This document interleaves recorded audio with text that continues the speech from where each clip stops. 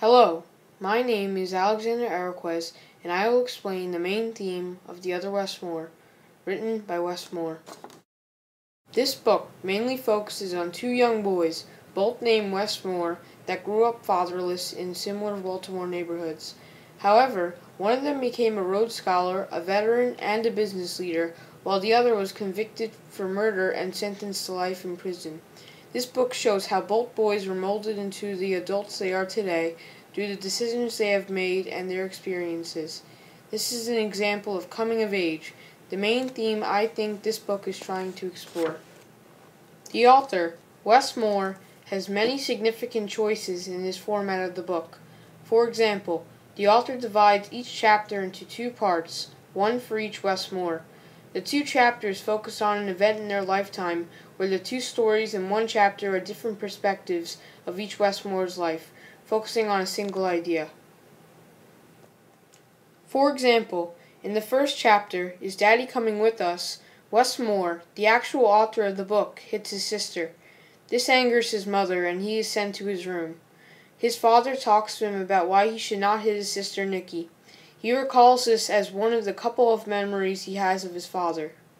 Um, his father unfortunately died of acute epiglottitis when Wes was at a young age. In the book, Wes says after the dialogue between his father and him about Wes hitting Nikki, that is one of the only two memories I have of my father.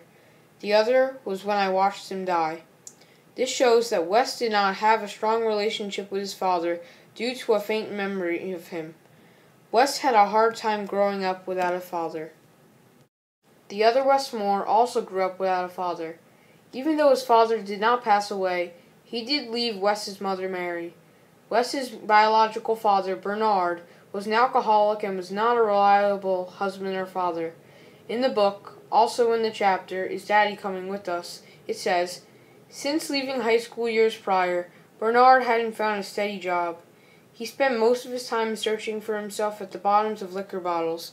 Mary was left with two alcoholic, abusive men who shared the DNA of her two children, but no husband or dad for her boys. This shows that Mary really depended on Bernard to help take care of her children. However, he was an alcoholic, and his not so steady job wouldn't be able to support a whole family. Even though each Wes Moore had a different childhood, they still both dealt with growing up fatherless. The author also ends each chapter with a cliffhanger. A cliffhanger keeps the reader interested in the book. Not only does the author add cliffhangers, use of foreshadowing is common as well. There are multiple lines of foreshadowing in this book that lead to what will happen later on in the book. For example, at the end of chapter 3, when the other Wes Moore gets the job to wear a headset to notify the group he was working for that police were coming, Wes remembers when he experienced the power of drugs. In the story, it says, as Wes placed the headset over his freshly cut fade and adjusted it, he remembered the story. The headset now fit perfectly.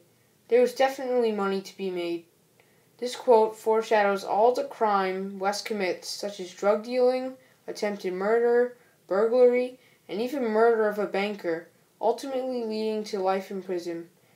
Tony, Wes's older brother, worried Wes would get into a lot of trouble since Tony was already dealing drugs, yet Wes still looked up to him as a brother. Also, the author has use of metaphors as well. In that same quote from the end of chapter 3, it says, The headset fit perfectly. This does not only foreshadow the criminal Wes would soon be, but it's also a metaphor explaining that Wes fit imperfectly as a troublemaker. With an older brother that is already in the drug game and so many bad influences in the neighborhood, Wes was just meant to be in on all the drug dealing and criminal activity. Another choice of format the author uses is his placement of images in the book. Books for a more adult audience usually do not have many pictures or even any. The reader has to picture what is happening in the book with their mind. The whole point of reading is imagining what is happening in the book as your eyes soak up the words in the book as your mind puts them to action. In this book, the pictures are shown in the middle of the book to picture what is happening in the story. For example, In chapter 7, there is a pause in the book where images with small descriptions are shown. It shows pictures of Wes at Valley Forge, Wes in South Africa, the other Wes Moore with his headgear on, Wes in prison, etc. These pictures show the reader what the character looked like, showing them what the characters are doing, visually instead of through words, and help tell the story to sum up everything that has happened in the book. In conclusion, both of the Wes Moores had experienced the main idea of coming of age in the book. Author's choices that Wes Moore used helped this main idea of coming of age be obvious in the book. When comparing the two Wes Moores' lives, at some times the reader could even relate to one of them. The main idea of coming of age is what I think this book was trying to focus on.